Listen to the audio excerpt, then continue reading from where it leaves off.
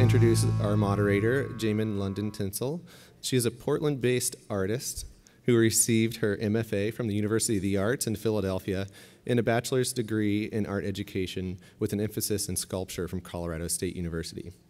Jamin was a founding member of the Hall Gallery, an artist run studio gallery space in Portland from 1999 to 2007, and is currently the AP Art and Ceramics teacher at Grant High School here in Portland. Panelist Anne Goodrich is a ceramic sculptor and art teacher living in Portland, Oregon. Anne is represented by Guardino Gallery and recently was the K 12 artist in residence at Oregon College of Art and Craft. She's currently the ceramics and IB teacher at Sunset High School in Beaverton, Oregon. Panelist Andrew Butterfield is a Portland based figurative sculptor and potter specializing in atmospheric firing. Andrew is an active member of the Portland ceramics community and teaches ceramics and AP art at Wilson High School. And at the end of the panel here, we have Lily Windle. She's a painter and printmaker living and working in Portland, Oregon. Lily's teaching experience lies in visual studies design, drawing, painting, and printmaking in IB visual art curriculum. She's currently an art teacher at Lincoln High School. Please join me in welcoming this panel.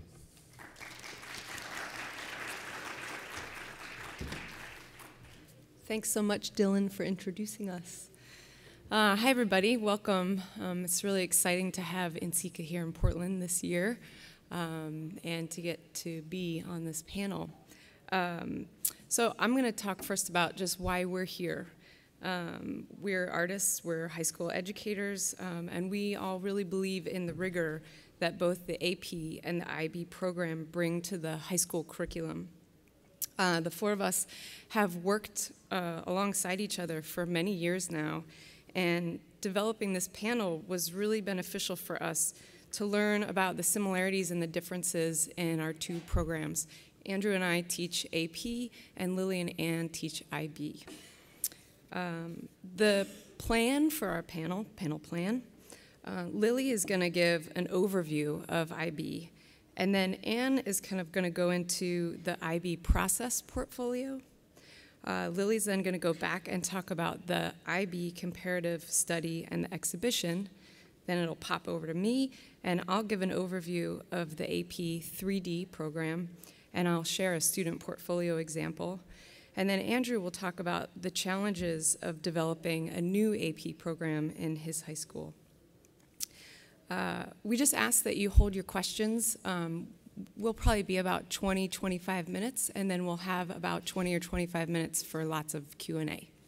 Okay?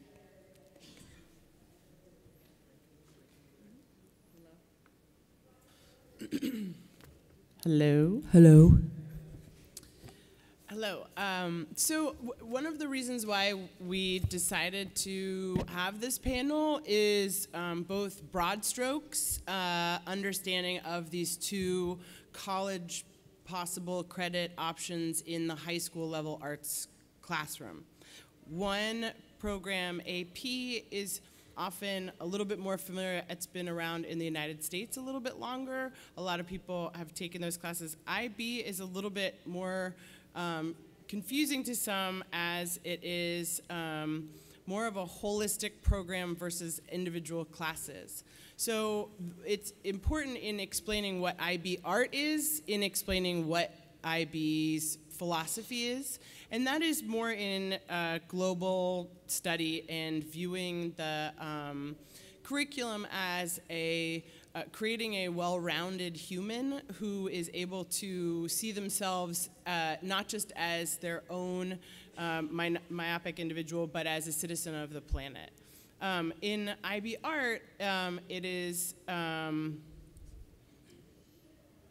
uh, a um, program that is uh, developed in order for students to be on kind of their own path. It's inquiry based um, meaning that the students lead themselves, and uh, I'm, I'm much more of a facilitator and a coach um, helping them follow that, that path. Um, students uh, document a lot of their work through um, what is called a visual visual arts journal or visual journal, like a sketchbook, which then turns into a process portfolio. The um, work then is um, developed into studio work that is creating a show. So basically, you have um, a uh, um, yeah. Our slides keep moving. Who's moving the slides? Can, can we have control over the slides? Okay. Okay. Um, so d- basically, uh, um, in in a very simplified terms, one of the main differences between the IB program and the AP program involves sort of a deeper uh, study and, and personal inquiry as shown through a sketchbook, and that sketchbook is then um, collected and presented through a series of slides called the process portfolio. The three main um, parts, uh, I'm just gonna. Okay. Um, the third slide. Um, fourth slide? Yeah. So the three main parts are um, your your journey, if you will, your your sketchbook as showing your journey, um, and that's called the process portfolio, and that's 40%. And the exhibition, which is the art show of your studio work that's finished, and that's 40%. And then the comparative study, which is a critical analysis, um, and that's 20%. Um, and now Anne's going to talk sort of more in depth on this component that makes the IB art program special and different, um, which is the uh, process portfolio. So whether you're teaching IB or AP, the thing that's um, challenging about teaching students in an advanced program, perfect, is you've got to transition them from, okay, we're all doing pinch pots and we're all turning them into beetles, to what do you want to say with your art? What medium what do you want to use? What style? What is your voice? So the process portfolio is this opportunity to guide students through discovering their voice. And as Lily said, it's mostly done through a sketchbook. Um, I personally spend the first month doing what I call boot camps, exposing them to a different media every single day and to a different source of inspiration. Some of those inspirations come from me, and some are generated by the students. And th- these are two examples of uh, a student doing paper clay.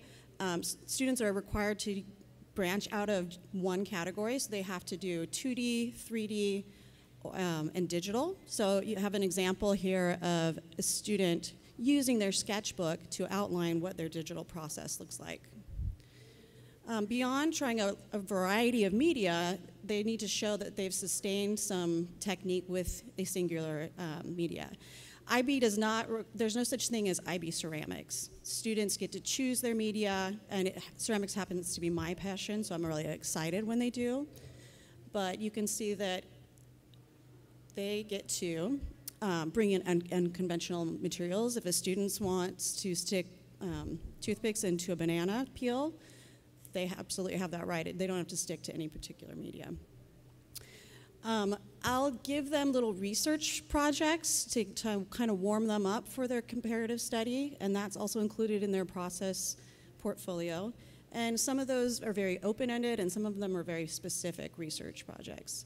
But ultimately, students need to develop an awareness of who they're influenced by. So on the left, you see the professional work of Julie Alpert, um, a little writing that the student has done about that artist. And on the right, you see an example of the exhibition work of one of my um, students. So they need to be able to appropriate and be influenced by artists without directly copying them and speak to that influence. So their sketchbook is not just a visual journal, it's um, always supported by text and explanation of what they're thinking. So I, I tell them I should be able to crack open your uh, sketchbook and feel like I'm reading your mind. What is your thinking behind your artwork? We also use the process portfolio to, for students to demonstrate their problem solving. So a lot of times I'll require that they give a before and after um, picture of a critique and you know, maybe annotate why they made certain choices. and uh, IB Art is very much a metacog- metacognitive program. So sometimes I'll ask them just to reflect on their own thinking. Do you prefer brainstorming through maquettes or drawings? Um, what did you get out of your critique? Um, and reflect on who they are as an artist. So, in that process of kind of taking them from I'm telling you what to do to you figuring out who you are as an artist, um, this is a pretty transitional assignment for me. I call it Finding Your Artistic DNA, which is something I stole from Twyla Tharp's book, The Creative Habit. So, I'll give the students paradigms like order versus chaos, abstract versus realism. And then they go through and they have to kind of circle where they are on those continuums. Eventually, they pick three of those words and make a, a work of art that exemplifies that. So if it's bold, abstract, and emotional, then they have to figure out how to embody that for themselves. The process portfolio is also um, assessed just on its basic quality of presentation. Is it legible? Are you using art vocabulary? And again, always supporting text with visuals and visuals with text. And finally, the, my final example here is just a nice slide of, um, let's see, can we advance? There we go. Um, what a, what a nice slide might look like. Maybe they include a little illustration or um, a little bit of framing about around the images, but ultimately it has to be clear and legible and look good. And now we're back to Lily.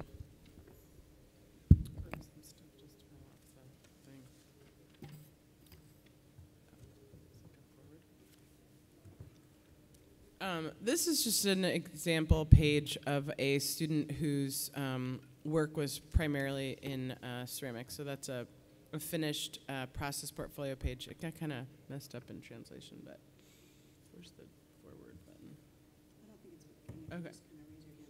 All right. So the exhibition is basically the art show.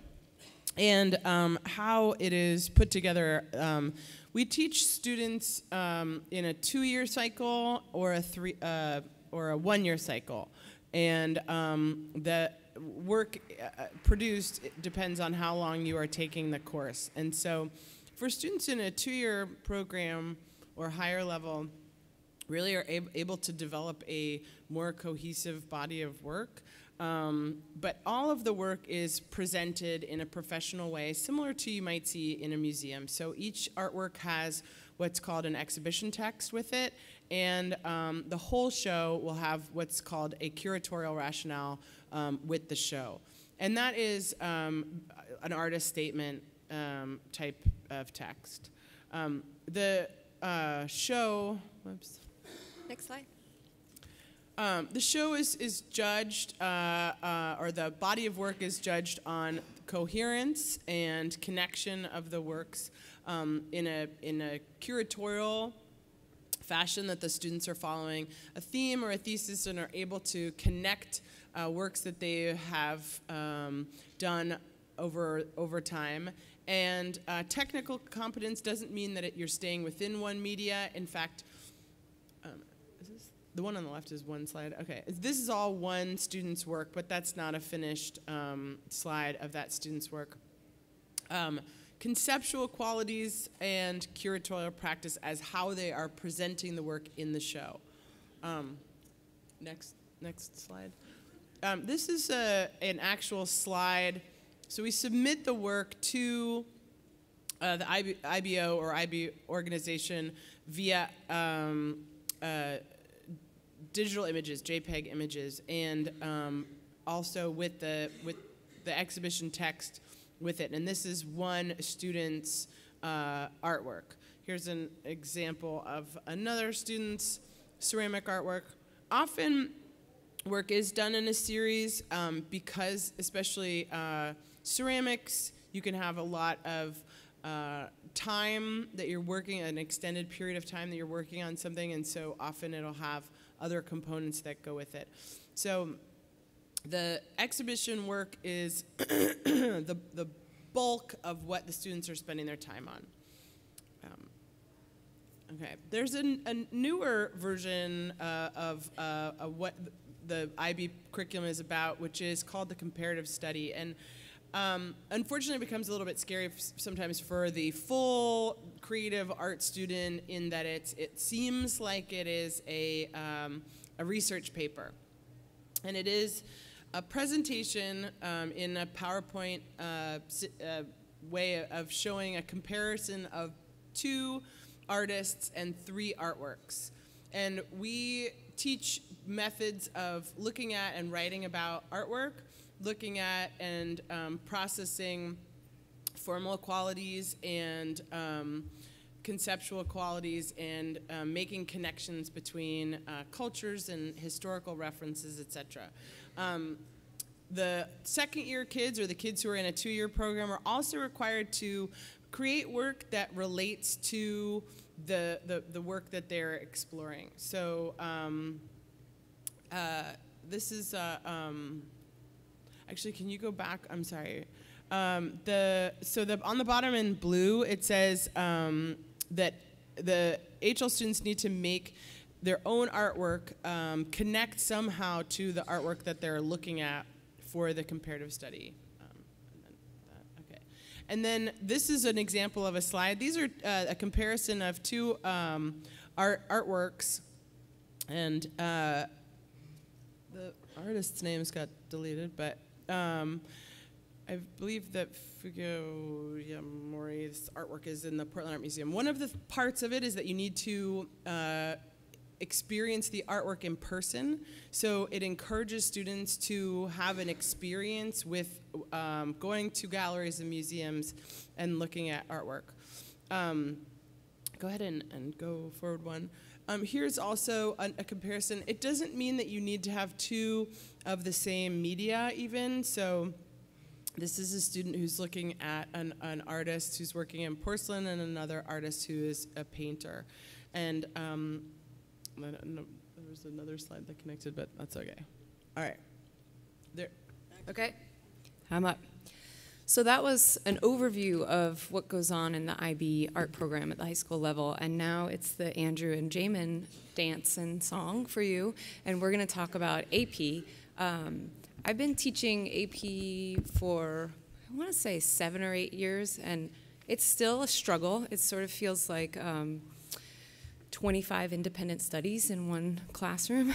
and uh, so I'll just kind of talk about what AP is. Um, so it's a nationwide program um, called the College Board, offers um, college level curriculum, so, you know, AP Euro, AP you know, English, AP Art History, lots of different courses and um, based on student scores, they can receive college credit if that college um, accepts AP credit.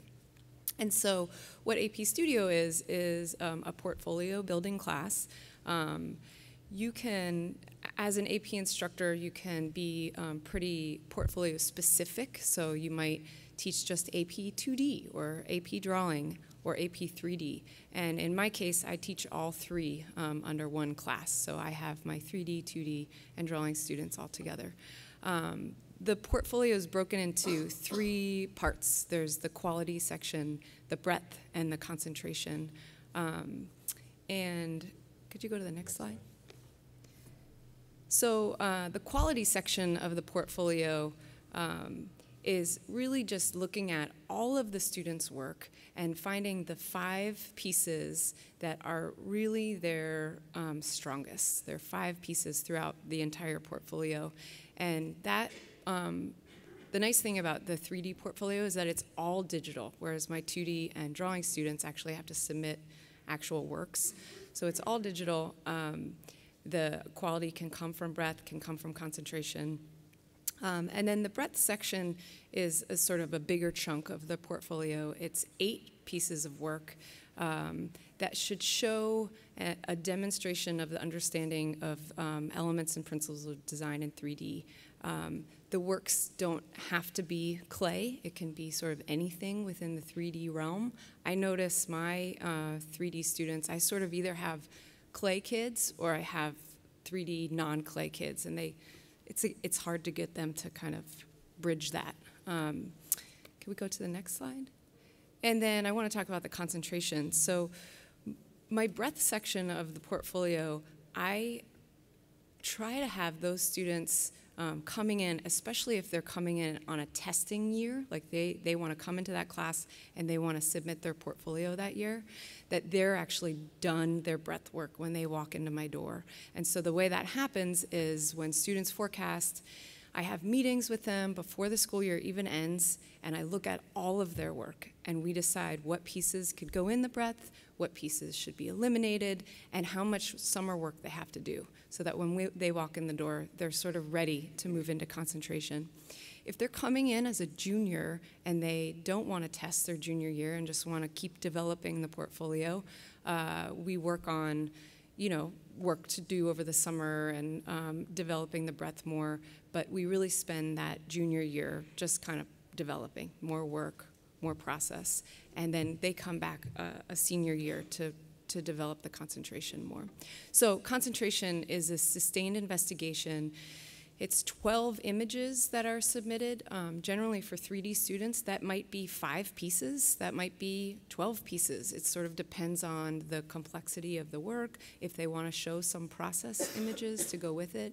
Um, the AP uh, portfolio is, is a lot different than the IB portfolio, where um, there isn't, from what I've understood, uh, there's some sense of rigidity sometimes in the IB where there's like pretty specific things that students need to show. Am I right? Yeah. Yeah. There's specific criteria, yeah. Yeah. Whereas in the AP portfolio, uh, you know, quality, breadth, concentration, and uh, it's, it, it feels like there's a little bit more room um, to move. Uh, there are links of AP Studio 3D design portfolios that you can see on the College Board website. Uh, the College Board website is a great resource for looking at um, any AP works. Uh, could we see the breadth slide?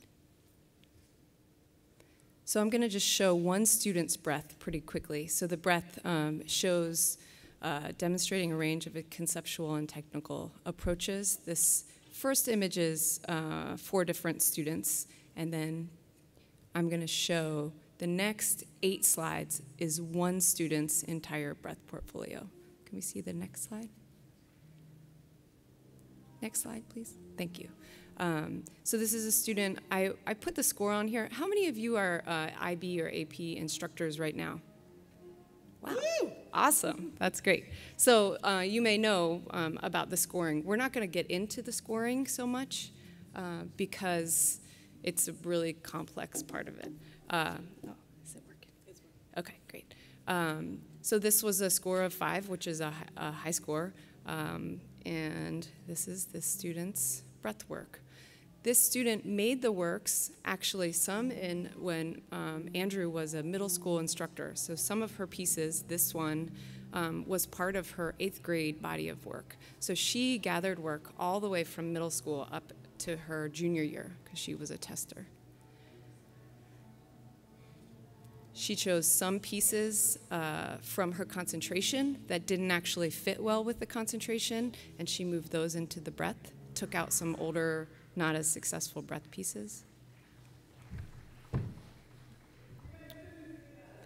And she also uh, worked with a studio artist at a pottery studio, um, developing more works outside of the classroom.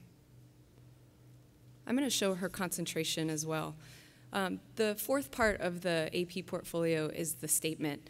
Um, back when I first started, I focused so much on the statement. I had students write and rewrite and write and rewrite.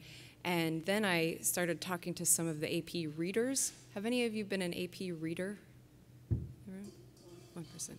So one thing I found out was that the, um, the readers don't spend a lot of time looking at statements. They don't have a lot of time. They have three minutes kind of per section of portfolio they look at. And now it's an emphasis. I definitely think it's a really essential part, but we don't spend as much time on this because it's really about the work. Um, so this is her concentration statement, focuses on tra transformation, exploring different phases and changes in uh, life, life cycles she made uh, seven works.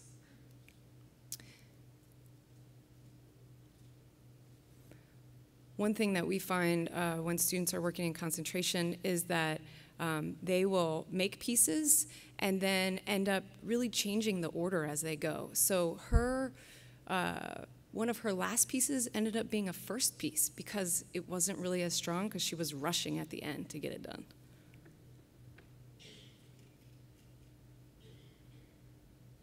Uh, she also found that um, she was able to pull earlier breath works that she didn't use in the breath portfolio as early pieces in the concentration as her kind of concept or idea was already beginning in the um, as she was exploring the breath and then this was uh, her final piece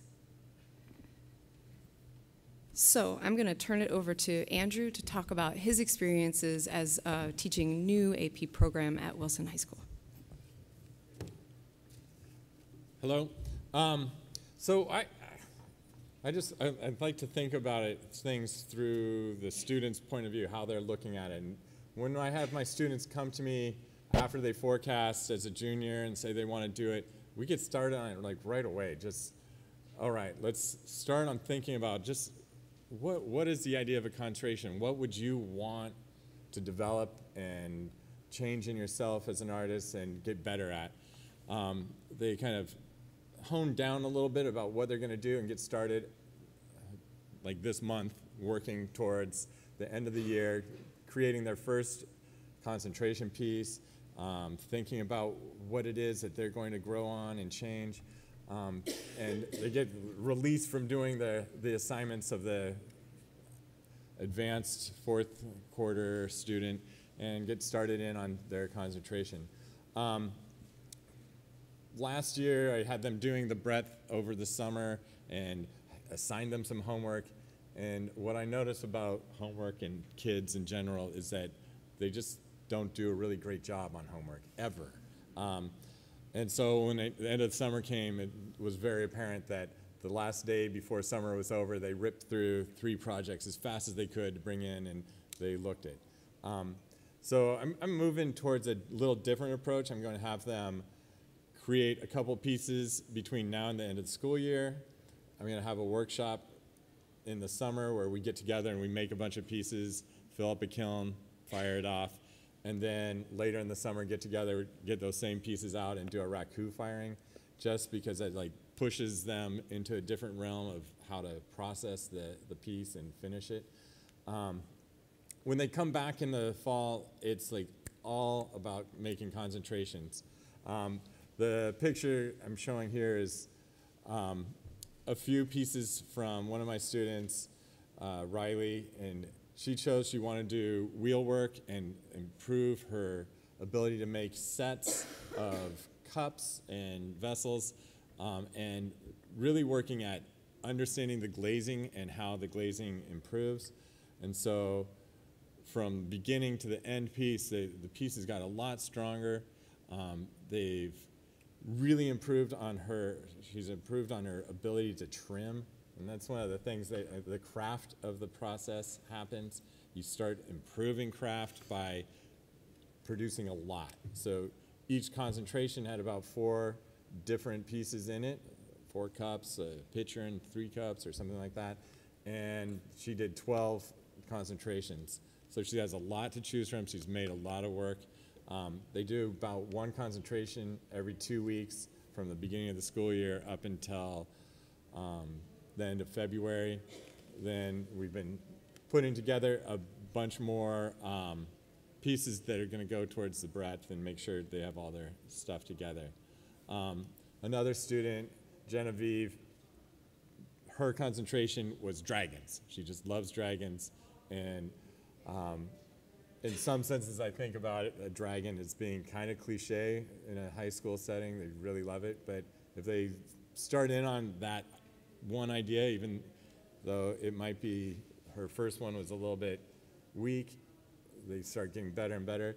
That dragon in the upper right hand corner was 27 inches tall. I had to take out the shelf and uh, squeeze it in, and we actually had to wait it a few, uh, about a week and a half extra for it to totally get its maximum shrink so we could get the lid closed. Um, but she was really excited about it. She researched glazing on it by doing a lot of test tiles, a lot of sampling of the different glazes to come up with glazes that would really like blend together and pull out the most dragon-like effects. Um, so I find like uh, my students, it, it is a very individualized thing. I'm coming and meeting with each student on their own, talking about them, about their concentration and where they're going with it, and keeping them being fresh and thinking about what they're, where they're going with it, basically. Um, and so it, it requires a bit of extra work in that there's, there's not, in my class, I have AP and advanced students going at the same time. And so I've got this little cohort of independent study students doing all sorts of cool stuff, but it infects the rest of the group. They're just, they're totally into seeing these crazy new projects that the AP students are coming up with. So that's about what I've been doing. Um, what were you doing next? Streaming.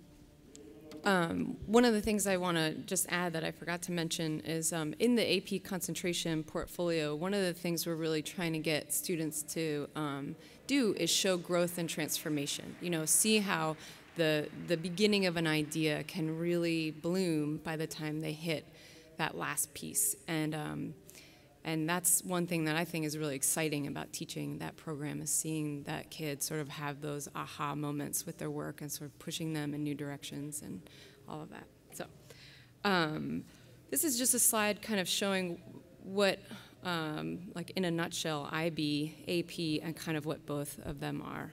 So IB being inquiry-based, um, including the comparative study, research essay, um, both of them having a portfolio and both portfolios are digitally submitted. Um, both have an assessment looking at voice, technical success in the work, and potential for college credit. Um, and advanced placement, um, it's a lot about quantity. I mean, those students, in the end, need around 16 to 18 pieces um, of work. So, and it's one of the things that is a struggle too is that for some students coming in, they think it's a, you know, a bowl. Like, oh, I got a bowl. But really, I, I want to see four bowls. I want to see a nesting set of bowls. I want to see, uh, you know, a pitcher and four cups as one concentration piece, and that's a challenge. Um, and then, like we said, 12 images for concentration. Um, so we're up at about 35 minutes or so, and we have around 20, 25 minutes for questions.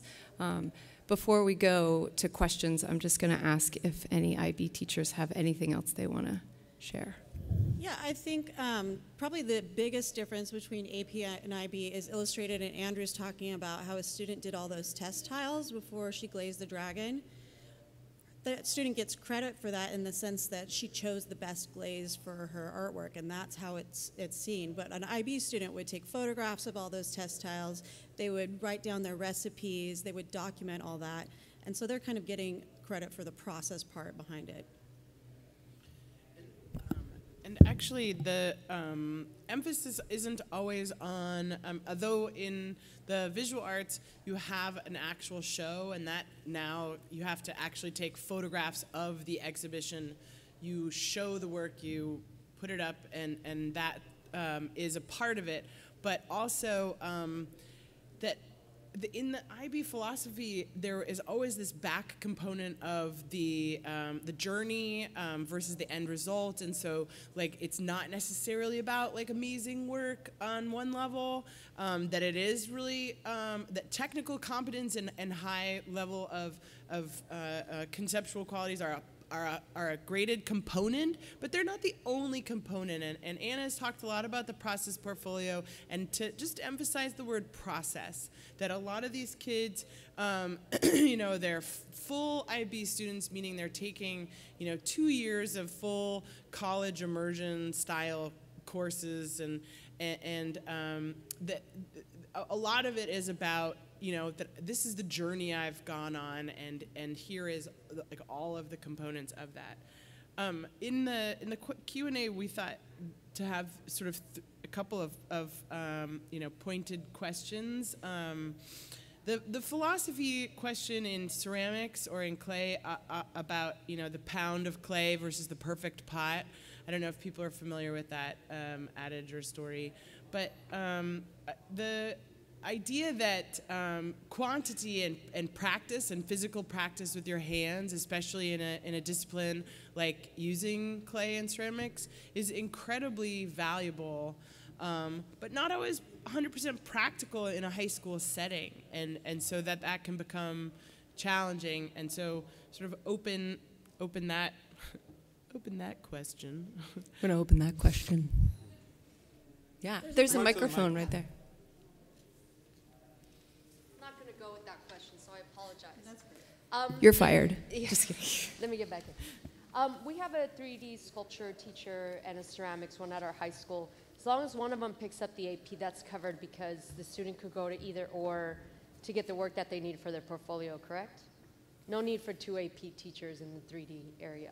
Depending on your Um, number of say the first part again. We have a, a, a 3D sculpture high school teacher and a ceramics And a one. ceramics teacher, We don't need each one of them teaching that. It's just one. Because they Probably not, bounce. because it's a 3D design portfolio, and so I would just say seeking out one of them that's willing to take it on. Uh-huh. Um, yeah. And the student, for example, if, if I have a ceramics student that wants to do AP and I'm not teaching AP, but the 3D sculpture teacher is, I can guide them through their work, but the other teacher would have to wrap up all the stuff for it to turn it the in. technical stuff. Yeah. Sounds good. Thank you. Who else? Sure. So I teach AP ceramics, and um, we actually have both. She's leaving, but we have at my school we have an AP sculpture teacher you and AP. We have AP sculpture and AP ceramics at my school. Um, and one thing that is really nice about it is that I teach AP ceramics, and um, the ceramics class is wheel is very wheel based. I mean, I do have sculptors, but I have a it's a very heavy wheel based class, and so my AP ceramics is very wheel it's they start with the wheel and then they alter on top of that. Whereas the sculpture teacher does plaster and resin and found objects, and so it's a very different pieces come out of that. So there is pros and cons to both, I think. I think it's, for our program, it's really great that we both exist separately and do AP separately. But I think you could, if it's like a funding issue, because you don't want both of them to do AP, you could have it together. But for us, it works really well to do it separately. It's probably the numbers too. Yeah. Numbers of students, if we can get more concentration Yeah. instead of splitting them. Yeah, I mean, we have like eight AP ceramic students and five AP sculpture students. So it's smaller. They're small little classes, but it's a private school, so makes a difference. um, sorry, I just wanted to. That's okay. No, that was great. So, one thing that I really struggle with is um, I feel like the concentration piece is this really organic, like you said, you're a facilitator. I am a facilitator when I work with my kids on concentration.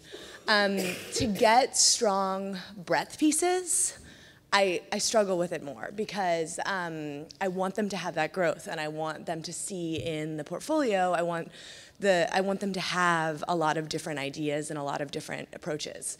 But I, I don't like assigning seniors and juniors projects. It's just not the way that I teach. It's not, I, it feels closed to me and they're not expressing themselves enough and they're not getting to do enough what they're interested in. So to get that growth in the breadth without assigning, I want you to do bottles, or you know, I want you to do altered pieces or something. I just, do you guys have open-ended questions that you ask your kids for the breadth and sort of to get them thinking about that growth? Do you have them um, sort of look at pieces? Because sometimes my kids put stuff that they'll make freshman and sophomore year in a breadth, but most of the time it's only the stuff that they make when they're juniors and seniors. So. What, what I found this, this semester is we've I, uh, cut them off on their concentration. I said, all right, you're done. You did it. You got everything great there, but you need your breadth stuff. Break out of the box. Go and do some other type of projects. You've been on the wheel for the last eight months. Build something by hand. Make a slab. Do something. Right. And I do and breadth usually totally, before, like, but maybe I dived should into it, and they're they're loving that because now they can they're not constrained by by their own constraints. Yeah. Mm-hmm. So you start with concentration, then you do breadth. I do it more like you said, where, where they start their breadth their junior year and finish at the beginning of the senior year, and, And- then in like November we start concentration. And so the the the wheel throwers who've developed some really awesome skills on the wheel and were afraid of hand building like Right. last year at this time, they sit down to hand build and they're a little nervous at first, but they find that wow, I've got all these skills with clay that I didn't have a year ago. Yeah. And the breadth pieces are a lot stronger than they were on the homework pieces that they sloughed through and they were afraid of and didn't do as great. So.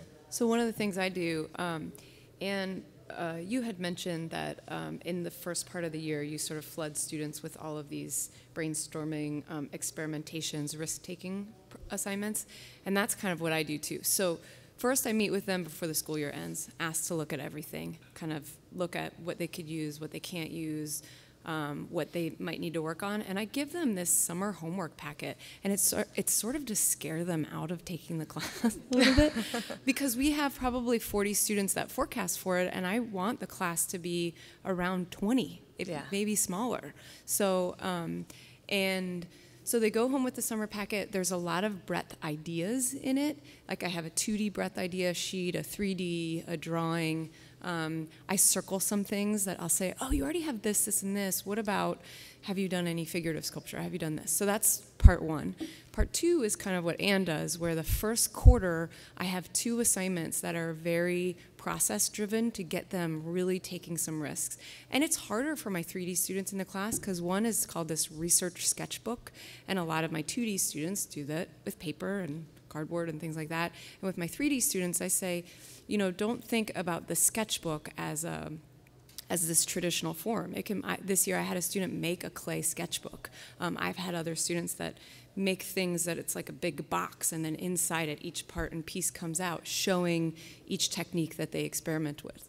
So they take that um, that sketchbook, and that they can usually pull two to three pieces from the sketchbook. And then the second we, thing we do um, is a it's called art cards, and it's like a mini concentration to get them thinking about that. And my 3D students will make them, you know, this big, these mini pieces, and usually they have three to five pretty interesting ones. So we pull from that too.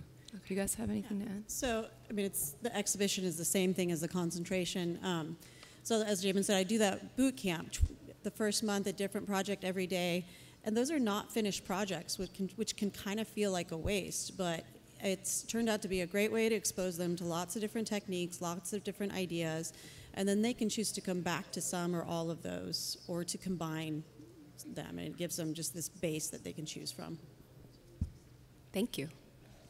Yeah. Sure. So um, we, three of us teach in Portland Public Schools, and so we're on the same schedule. Um, We we're on an AB block. Um, most days are 90 minutes, and then on our flex days, it's uh, 76. Is that right? Yeah, about that. Yeah. And then, And mine's an every other day, 90 minute. yeah. Uh, I teach uh, AP in Atlanta, and uh, we're on a 50-minute blo- or just schedule every day, seven-period Wow. day. Um, do you guys? I don't know if anybody is experiencing this, but I'm I'm really struggling with it this year, and that's the this kind of culture of mediocrity that we've got going on with the kids that they take like five and six AP classes and they don't have any time for the studio.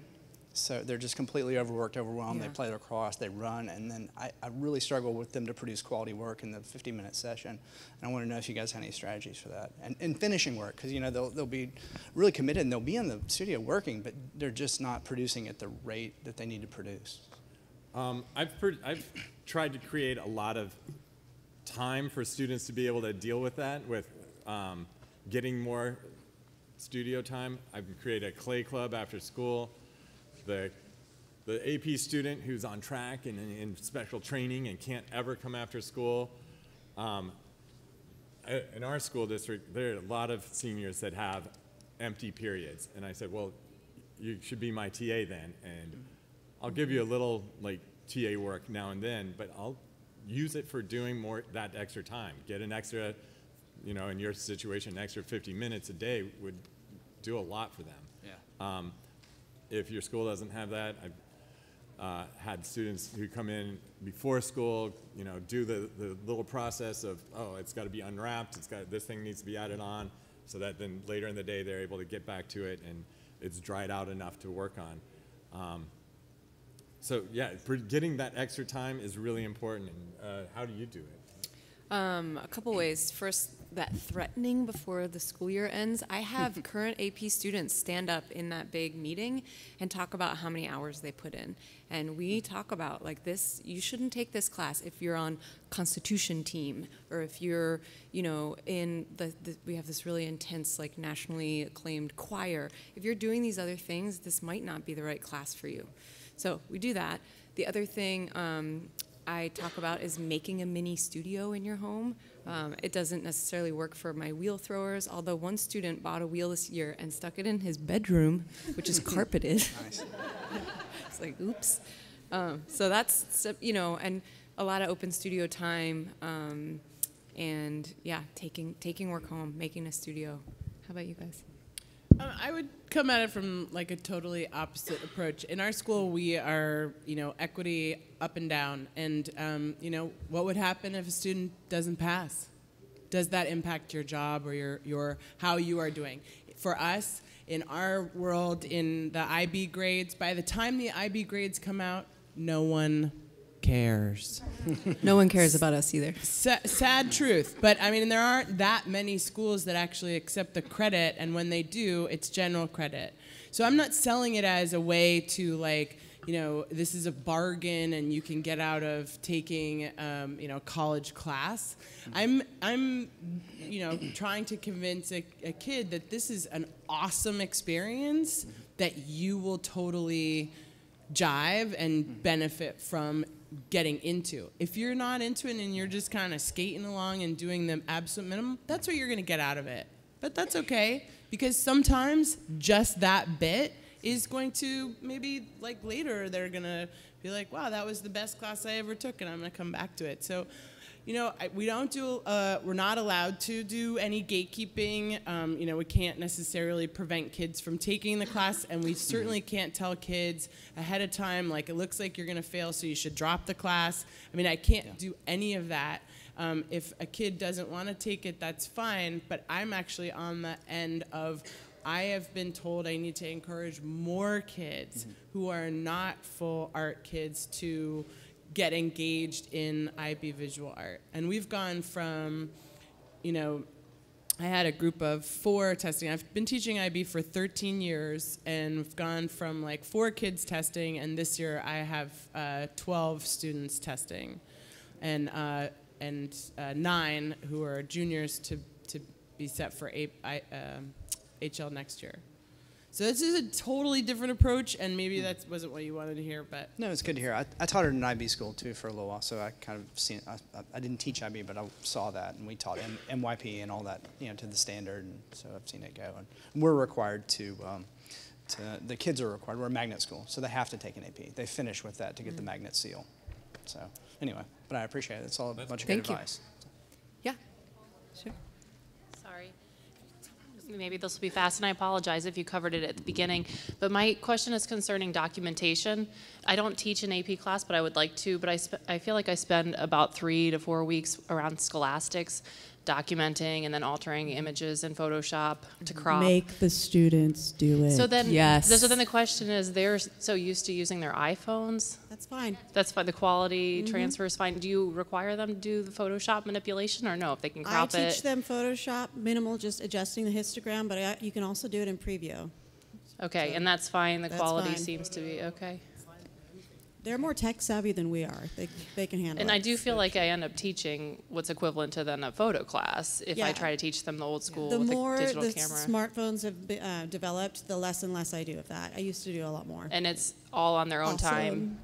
Well, they can use class time to do that, but it's up to them. Yeah. Okay. Work, It's helpful to have just a space. Right. Okay. All right. Thank you. Sure. Hi.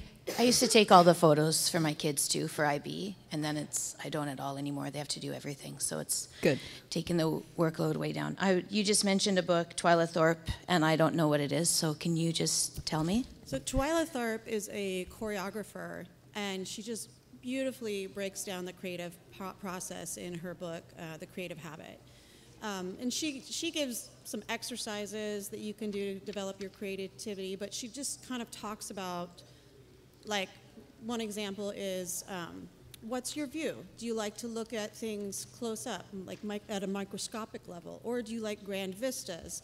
And so there's just a lot of questioning, which is so very much aligned with the IB inquiry model, um, as well as just like practical things to do. Like if you're a 3D person, maybe you don't need a sketchbook, maybe you need a box, and you need to put like the seed pods that you've been collecting in the box, and you have all your reference there. Things like that.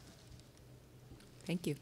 I just want to say before, um, if anyone is, I, I I have a handout if anyone wants more information on IB. It's just a double-sided sheet, and it's on the table back with um, Robert, who's holding it up right there. Hi. So the one thing that I've kind of run against is this whole push for rigor versus retention. So Versus, to, versus what? retention. Retention. So uh, the more projects that I've done, and the more I've pushed kids to try to and mic? do more and more and more, the less they're actually like producing quality and retaining their ideas from one project to the next.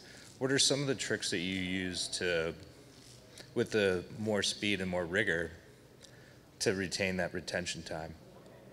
That's a great question. Does anyone have a thought? Well, I mean, I think that question speaks to the difference between AP and IB, that the AP program is very much quantity based. Um, and the IB program is, is meant to be a little deeper, like you dig deeper for each piece rather than fast and speed. Um, I think the, the question of pacing is, is a balancing act that every teacher kind of struggles with. Um, and from year to year, it really depends on my students. Like, are we going to, is this assignment going to take two weeks or three weeks? And sometimes if you give them too much time, the quality goes down because they want to like do their math homework in art class or whatever. So I don't, I guess I don't have a pure answer for that. I would just encourage you to experiment with it. I, I think that uh, there is a part of the reflection where students really have to be addressing on their own their own process of refinement. And and like when you've gotten to this point where you know you're looking at it and it's you know mediocre and you're giving feedback to the kiddo maybe you are re-questioning them like what more could happen here? You know what are surface qualities that could be addressed? Or you know what could this be a performance piece? Or you know could it what could it look like in a different framework? So i mean throwing those questions back to the kids i think helps them. And they have to record it And I- think the kids help each other with that during critiques, too. I guess the one piece that I would say is um, because I, I like to think of that um, that AP year so much about concentration that I feel like we create a lot of space for making that body of work because the hope is that all that breadth stuff they've done beforehand, all that, you know, they've been in my class for maybe two years, intro ceramics, intermediate advanced ceramics. They've made four strong pieces the first year, they've made four strong pieces the second year. And then we have the space to really explore the, that part of the portfolio. And that's another difference between the two programs. I can't require that my students have prerequisites. Yeah. Thank you. Hi. Hi. Um, I'm fortunate. Uh, right now, I teach three levels of ceramics beginning, intermediate, and advanced, and then we're considering. I teach three levels of ceramics right now beginning, intermediate, advanced. Those are each a year long class, and then it seems like it could be a natural fit for the fourth year to be AP. However, uh, knowing that kids are kids and our school is very academically rigorous, we offer probably 15 other AP tests. The studio is the time at which they are not doing all of the other types of things. Knowing that AP is not always a guarantee for college credit and it involves a significant amount of involvement on both my part and their part, there is a, I see there being somewhat of a risk of bringing AP in uh, that it then can potentially overwork the student and maybe limit some of the risks and freedom and play that happens in the studio that is what makes ceramics different from every other class they take. So could you talk about, from the student perspective, the difference between taking like a second year of advanced or taking AP and how that fits in with all of the other coursework that they're taking, knowing that an AP student in art is likely also taking other AP classes? Sure. Great question. Anybody have any thoughts? Well, when um, I, I think of the, the AP as the third year, so I wouldn't say do it as a fourth year. I would just say, okay, you can choose to do third year advanced, which is you're assigning projects, or more an independent thing, which is AP, and the student is individually deciding what their scope is and where their focus is. Um, I, I think that I think that balancing it with the other AP classes that they're taking, the thing about the AP 3D is that it, it is in the studio. It's still a studio class. Um, they're going to have to figure out how to get a little bit extra time doing studio work, whether that's making a mini lab at home or coming in before school or after school or lunch or something like that. Um, but I, I, I don't think that it, it's it's the same as the other AP classes they're taking, which are very homework based and very strong and intensive. Um, this is intensive in their, in their brain and in their development of craft, but um, it's different than the, your advanced class where the class is going through assignments maybe. Well, so our, by the time they get to advanced, we're already using essentially, I'm just meeting with them individually. They determine what their assignments are, and then I kind of hold them accountable for it. So they determine their curriculum in advance. And so AP would put a structure to that as far as the quantity that they're going to be doing. It wouldn't be too much different than what you're probably already doing. Yeah. And I just want to say for either program, just because it's advanced and yes, there are deadlines and things you have to upload and everything, it doesn't mean you should lose that sense of discovery or play. So about four pieces into my kiddos' exhibition work, I give them a risk-taking assignment, and they have to literally burn their work or scratch it up or let somebody else draw on it, things like that. Hi, um, I'm from a charter school in Delano, California. We don't offer currently any AP or IB classes. Um, instead, they offer um, actual community level, community college level courses at our school. Um, what would you recommend for me to do if I wanted to start an AP uh, course?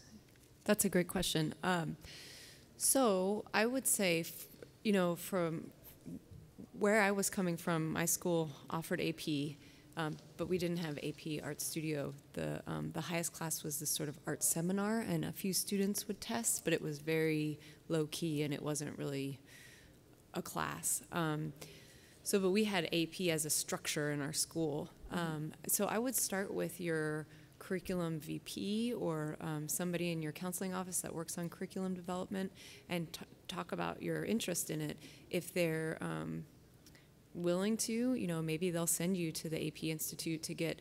And I, I actually should make this point, and I don't know if this is the case for IB, but you don't actually have to go to the AP Institute and get licensed as an AP instructor to um, offer AP.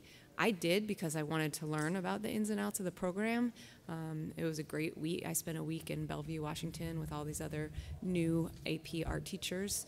Um, you develop your syllabus. You know, you just get all this time to sort of work on that. So to, it seems like starting with your curriculum um, folks in counseling and then moving from there. Does anyone else have for thoughts? IB? I, IB, you're not going to offer as a singleton. It's it's in an IB school. It's a ph- philosophical approach. It's, but that said, you don't technically need to have the um, training before you are having kiddos test. It's harder. It's a lot more fly by the seat of your pants, but um, there are sort of scaffolding and, and websites and people that you can contact for support so, but you can't start from, you can't just offer an IB art class in a non IB art. So you, you have to, like your whole school has to be like IB? Pretty much. Okay. Yeah. I see. Okay. Yeah. All right, thanks. Thank you. And feel free to stay and keep asking questions, but just so you guys know, it's your lunchtime. So. Thanks so much for coming. Bye.